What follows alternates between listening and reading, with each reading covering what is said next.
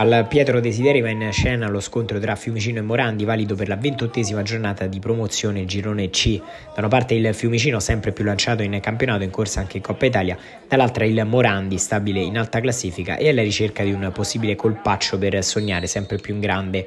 Subito tentativo dei rossoblù di casa con questa punizione dalla grande distanza che non impensierisce Verdecchia.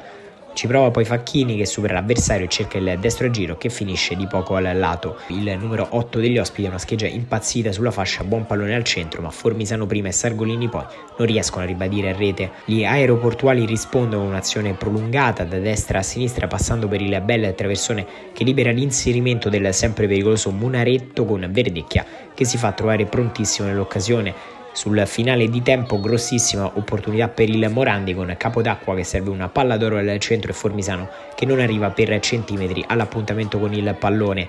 Sul ribaltamento di fronte invece c'è il solito Forcina che da bomber vero si fa trovare pronto sulla palla in profondità di Munaretto e batte il portiere con un bel destro ennesimo centro per uno dei migliori attaccanti della categoria Finisce il primo tempo con il gol e al via con la ripresa. Il secondo tempo scorre senza particolari emozioni all'insegna di un sostanziale equilibrio.